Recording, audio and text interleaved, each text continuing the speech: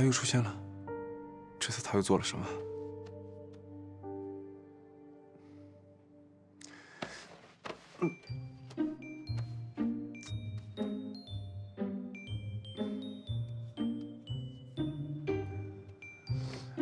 莎莎，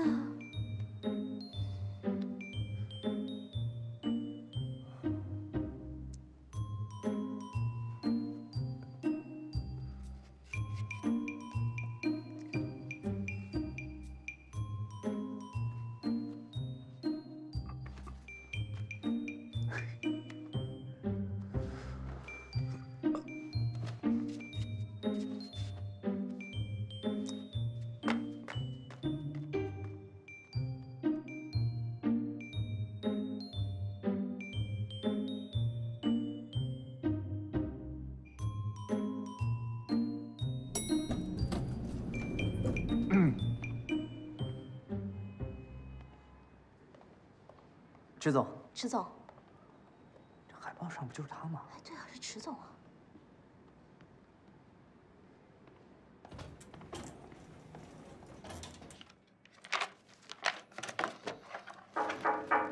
进来。老板，关于新一季的服装广告，因为和之前的代言人合同已经到期了，这一次启用的是新人，是由国内顶尖的时尚团队 DG 工作室一手打造的。这是样片。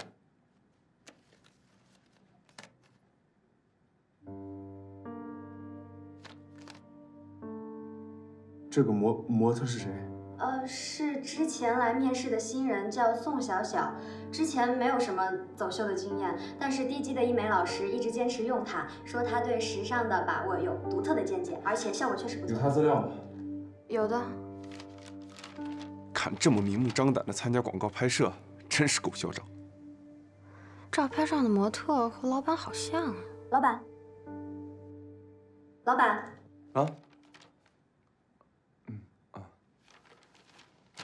他我不是很满意，换另外人代言。老板，但是我们的时装发布会已经定好了时间，如果现在换人的话，那可能会来不及了，而且咱们的损失也会很大。这是你要解决的事情，不是我要解决的事情。好的，我知道了。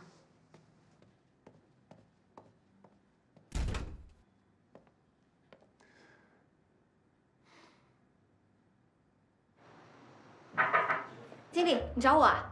嗯，池氏集团你也去过几次了，熟门熟路的。你去交接一下陨石系列的后续程序。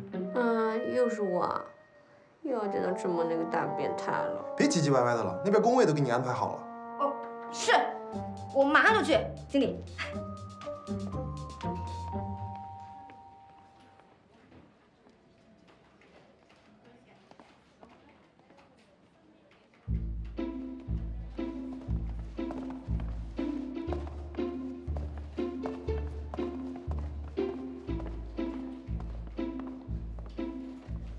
是谁啊？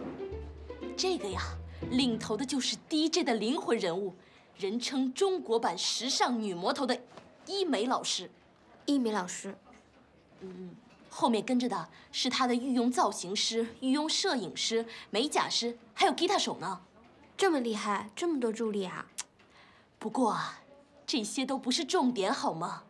只要伊美老师来咱们公司呢，那就只能有一件事。什么事啊？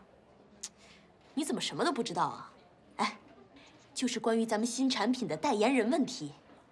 咱们老板吧不想用那个模特，但是医美老师吧一定要用那个模特，这不，过来开撕了。